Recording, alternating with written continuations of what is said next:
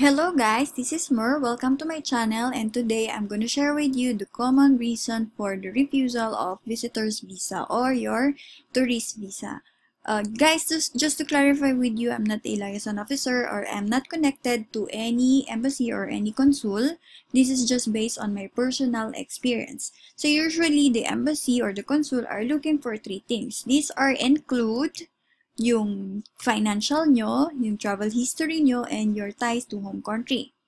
Okay, so when you submit your tourist visa application, the officer or the consul, uh, consul are looking for yung ID documents nyo, o yung passport nyo, yung visa application form nyo, birth certificate, marriage certificate, something like this.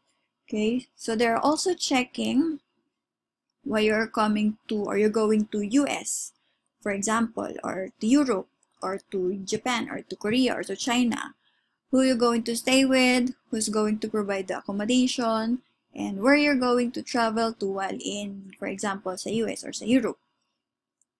Okay, so ano pa yung mga chine-check nila? Okay, so they're also checking uh, if you can provide that you're gonna exit the country. So these are your ties to your home country. Let's say ito yung tinatawag natin na properties. Kung may properties kayo, you have investment, you have bank account, you have financial responsibilities, or yung mga binabayaran nyo, like if you have credit card, if you have, uh, uh, may hinuhulugan kayong sasakyan, may hinuhulugan kayong bahay, employment, kung may trabaho kayo, schools, kung nag-aaral kayo. Okay, so usually they are checking for this. So now, when you submit the application, the officer also look at your travel history. So they want to know if you traveled outside your country before. So like, uh, have you have you gone to US or say Europe or say Asia? How long did you stay for?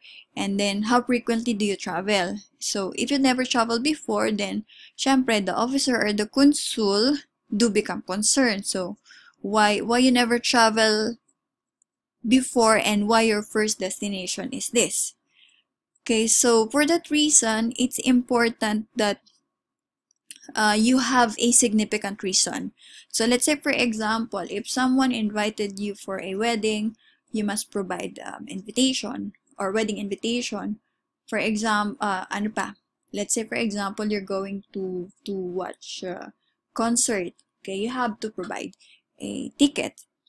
Okay, so ano pa yung mga iba pang pwede mong isama dito? Yung round trip ticket mo, katunayan na babalik ka talaga. Okay? So, I'm not saying na kailangan mong magpabook agad. Okay, so you can ask someone or travel agency na pwedeng mag-block or mag-hold ng ticket nyo. Okay, so usually these are the the reason, uh, sorry, usually these are the uh, three things na chine-check ng um, embassy or ng consul. So, this is just a tip. Sana nakatulong po sa inyo. And if you have question, you can comment down below. And please don't forget to subscribe on my channel. Thank you!